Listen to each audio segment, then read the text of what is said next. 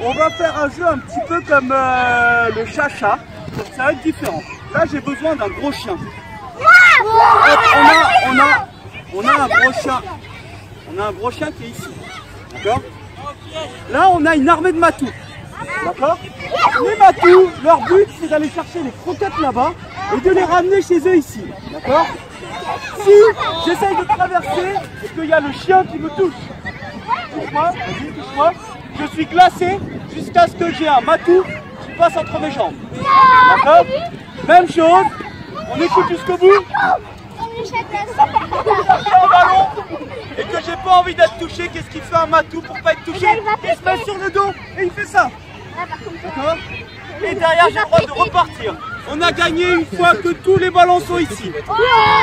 Si par contre, je suis le matou avec le ballon et que je me fais toucher, je dois remettre le ballon là-bas et repartir de la balle. Vous êtes prêts? Attention messieurs, les chats, 3, 2, 1, c'est je trouve ça toujours intéressant de prendre des, jeux traditionnels et de les faire évoluer euh, et de les faire évoluer pour, pour, les adapter au rugby ou à ce qu'on a envie de travailler.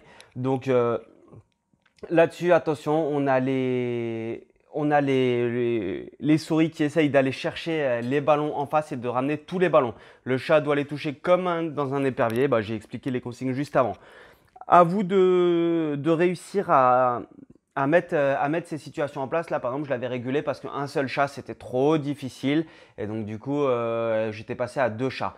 Euh, à vous de réussir à réguler ces situations et surtout, je pense, de développer la capacité, capacité d'imagination pour que les, les gamins s'amusent. C'est-à-dire que là, en fait, les, les, les, gamins, ils sont en train de courir partout, ils sont en train de s'amuser. Il n'y a, pas de, y a, y a pas de calcul, de retenue. Ils sont pas en train de se dire j'aime le rugby, j'aime pas le rugby. Ils sont juste en train de prendre du plaisir autour d'un ballon de rugby en créant des, liens autour de jeux avec des, en créant des liens et des amitiés avec des copains autour de jeux qui sont traditionnels mais adaptés du coup avec le ballon de rugby. Et ça, c'est notre boulot en tant qu'éducateur. Vraiment, je le répète et je le dis pas assez. C'est à nous de donner envie aux jeunes et de leur euh, donner cette volonté de jouer avec les copains et de s'amuser sur le terrain.